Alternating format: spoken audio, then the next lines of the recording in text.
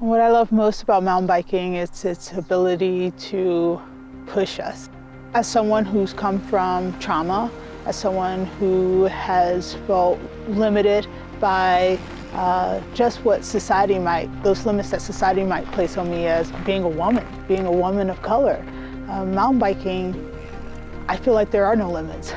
There is the ability to be able to push myself every single day, to be able to read my body and my mind, somewhat of my, uh, my spirit, that's, that's mountain biking. Every day we're going out there and we're pushing ourselves, learning more about ourselves. When we decide, today I'm gonna push a little bit harder and just see. And when we have those accomplishments that are so huge and we get to celebrate, for me it's just, it's a way of me healing.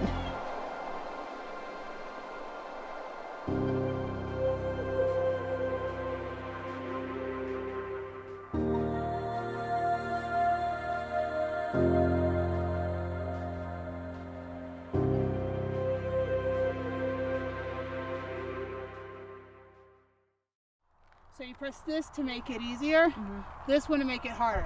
Yeah. Okay, all right, yep. And then I'll tell you when to hit this button. Okay.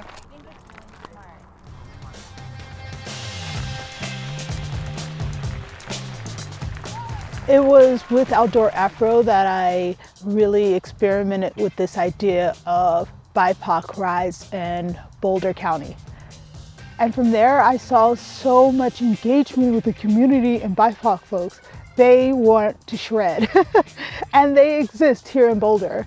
And I was so overwhelmed with this passion of wanting to create a safe space for them to do exactly that.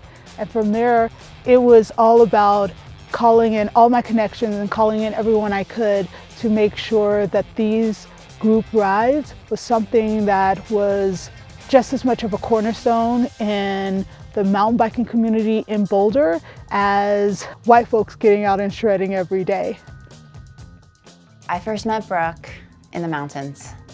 It was a BIPOC initiative ride. Outdoor Afros was the platform we met through Meetup. But that day on the trail was when I really first met Brooke. In person, she was leading the ride. I could feel her nervousness, but I could also feel her passion of being on the trail with all of us. She is paving the way for future riders and future people to get into mountain biking because she's showing us it's possible.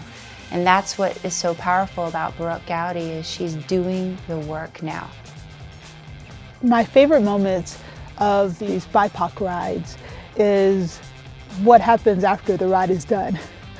The community really comes together and we feel so comfortable with one another. The way we were able to celebrate um, all the accomplishments that have happened on the ride, so much fun. Um, from the moment that we are in the parking lot together and we're just cutting up to after the ride is done and we're having drinks together and really celebrating in a way that's you know that you can be your authentic self.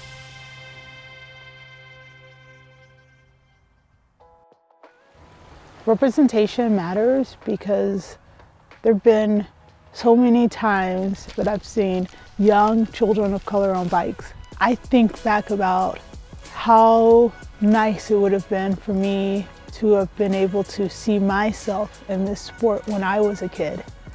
You know, black folks ride bikes. That's not the problem here. I rode bikes when I was a kid. I grew up riding a bike. But I never saw myself on a mountain bike. I never saw myself cruising these beautiful trails that belong to us. And I can't go back and be the young girl who now gets to see it. But I surely can go forward and be the representation for the young girls like me, the young girls of color, to know that these trails belong to them, that this community of mountain biking, that that belongs to us too.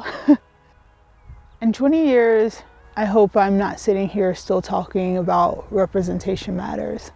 I hope that it's an idea that everyone understands, that we acknowledge and understand barriers, and that we, all folks, white folks, black folks, brown folks, are out there working our hardest to remove those barriers.